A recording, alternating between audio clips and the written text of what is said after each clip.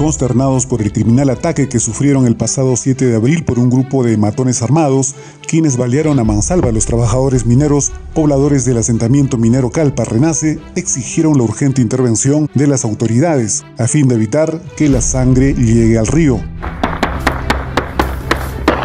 Nosotros asumimos y creemos que la parte de la dueña de la concesión los está utilizando a los compañeros mineros.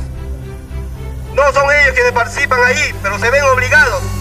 Esta empresa está fomentando la informalidad. ¿Por qué no lo formalizan si está en sus manos y tiene tanta voluntad o tanta ganas de querer hacer trabajar a nosotros? Igual que allá.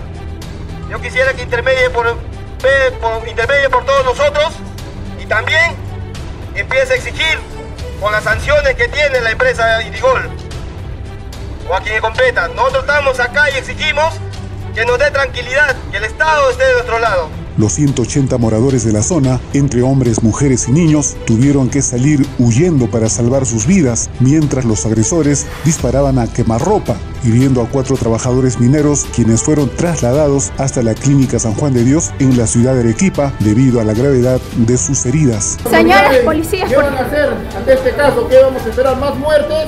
Por favor, hagan algo. Nuestros compañeros están siendo heridos, por favor.